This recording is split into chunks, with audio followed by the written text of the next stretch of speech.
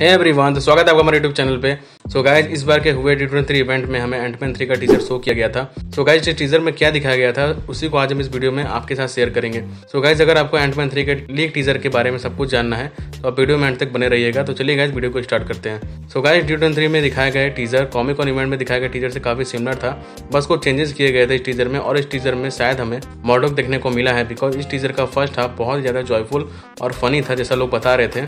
और second half में मॉडक के आने के बाद काफ़ी डार्क हो जाता है जिसमें मॉडोक ये कहता है कि उसके पास से किसी ने उसकी बहुत ही कीमती चीज़ चुरा ली है। को सिर्फ़ स्कॉटलैंड यानी हमारा एंटमैन ही वापस ला सकता है। और हो सकता है एंटमैन उसकी बात इसलिए मान रहा हो बिकॉज़ मोडोक ने उसकी बेटी कैसी को किडनैप कर रखा हो, जो कि उसको वो चीज़ लाने के बाद ही वापस करेगा। और जिसने वो चीज़ चुराई है और कोई नई most public Kang the Conqueror हो सकता है। और कैंग द कॉन्करर इस टीजर में ये कहता भी है कि मैंने बहुत सारे एवेंजर्स के मल्टीपल वेरियंट्स को मारा है मल्टीवर्स में अलग अलग रियलिटी में जा जाके और अब वो अर्थ सिक्स यानी हमारे मेन एमसीयू के टाइमलाइन में आ चुका है। तो हो सकता है इस मूवी में हमें कैंग के भी मल्टीपल वेरियंट देखने को मिले काउंसिल ऑफ़ कैंग देखने को मिले बिकॉज़ ये मूवी डायरेक्टली कनेक्टेड होने वाली एवेंजर कैंग डायनेस्टी से। और इस मूवी का प्लॉट लिख से हमें ये भी पता चला था कि मॉडोक उस मूवी में बहुत ही इंपॉर्टेंट रोल प्ले करने वाला है, जो कि एंड में एंटमैन और कैंग दोनों को धोखा देगा।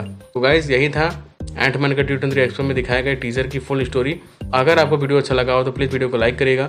और चैनल पर नए गए तो प्लीज़ चैनल को सब्सक्राइब करके बेल आइकन को प्रेस कर लीजिएगा। तब तक मिलते हैं किसी और वीडियो में। टिल देन जय हिंद, वंदे मातरम।